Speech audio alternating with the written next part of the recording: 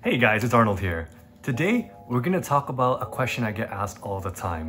Why I switched from engineering to consulting. They ask me, hey Arnold, why did you go through all this work to get a computer engineering degree just to come out the very end and do consulting? You're giving up the cushy perks, the amazing salaries, the beautiful offices, just to work crazy hours, get berated by consulting partners, and wake up every Monday morning at 5 a.m. for those early morning flights. Well, today I'm gonna tell you why.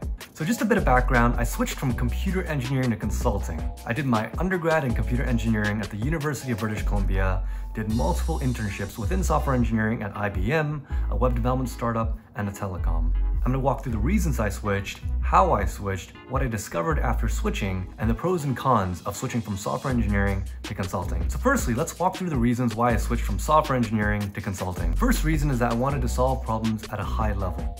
Now, working with if statements and while loops and my new pieces of code is really cool and all, but I wanted to solve bigger problems as in, hey, should I enter this market? Or hey, what should I consider when I'm building a new team? I wanted to solve the problems at a level where it mattered most. I'm not saying that software engineering doesn't have big consequences, but I'm saying the effects of your decisions are much more visible and apparent in consulting. The second reason why I wanted to switch was I wanted to gain some soft skills. Now, you know the stereotype, the computer engineering students, the software engineering students, they lack, you know, social skills.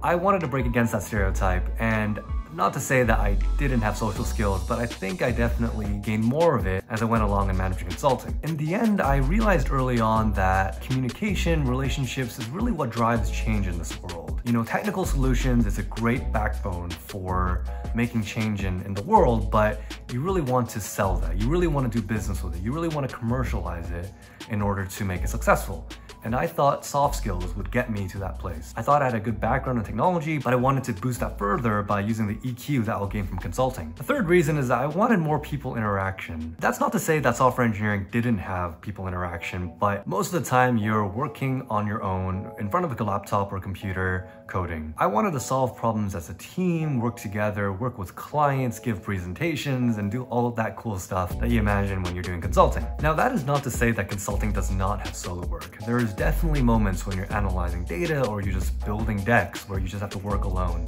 on your laptop.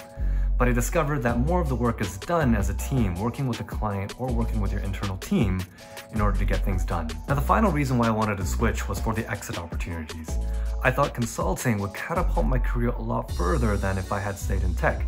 For example, if I wanted to eventually make my way to a product management position, I think consulting would lead me there faster and prepare me better for that job than software engineering, for example. I would be able to gain the people skills, the product visioning skills, and the big picture thinking required in order to successfully be a product manager. Now, the next topic is how I actually switched. Once the idea was seeded in my brain, I spent all my efforts to see how I can best go from software engineering into consulting. So the first thing that I did was that I hit up people in the consulting industry that also went to my school. I had coffee chats with them, asked them what their job was like, and if that was really something I wanted to pursue. A video on how to have those coffee chats is coming up soon, so please subscribe if you want to know more. It was at that point when I decided to really fully invest in applying for these consulting firms, so I looked at what their interviews were like and I bought two books to help me prepare. One of them was Case in Point, and the other is Case Interview Secrets. Having read those two books, I hit up people that were also recruiting for consulting firms, and together we practiced how to do these case interviews. In fact, they are quite different from your typical tech and programming interviews but in concept they're quite similar.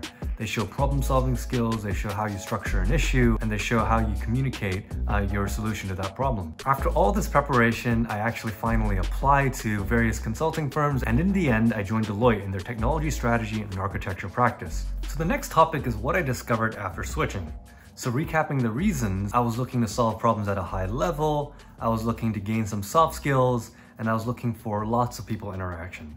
And by and large, those three areas are definitely true. I was definitely able to solve problems at a high level. I organize IT organizations, I develop digital strategies, I program manage post-mergers integrations. I think I also gained some soft skills. I chair meetings, I facilitate conversations, and I really use EQ to my advantage in getting information out of people, which sounds kind of bad now that I say it out loud. But it's all part of the job, trust me. I also discovered that I was able to leverage my technology background, but not to the extent that I expected. I was able to put some credentials in when I'm talking about digital strategy or architecture based on my computer engineering background. But by and large, we operate at such a high level that how to code the best C++ doesn't really apply in these situations. It is also a very different life than engineering. To a large extent, what I mentioned were true. The work-life balance is a little bit different. It's a little less cushy. There's a lot of travel. You travel out on Mondays, you get back home on Thursdays, before the socio-economic changes recently, that is. The exit opportunities are still to be determined. I'm still in consulting after all, but I'll let you know when that happens. But so far, I think I made a good decision. It was a great decision to switch into consulting to gain those soft skills, work at a high level, and really have more of those people interactions. Now, to talk a little bit about the drawbacks, the two that come to mind is salary and the work-life balance. I would say on the salary front, you're looking at around 80K versus 120K, consulting versus software engineering right out of graduation. Now, we're talking about Big Four or other big consulting firms, that is, for that 80K. And for 120K, we're talking about the large Silicon Valley firms. Combine that with the bonuses you get when you sign up for software engineering jobs, it could actually amount to quite a big difference. But in my mind, I think anything above 75k is sufficient. I can save up for the future, for retirement, for a house, what have you. It might just take a little bit longer. And the second drawback I mentioned was the work-life balance in consulting. How I reasoned this to myself was that in my 20s, I'd like to push myself a little bit harder to have those exit opportunities in the future, to really set myself up for my 30s, 40s, and beyond.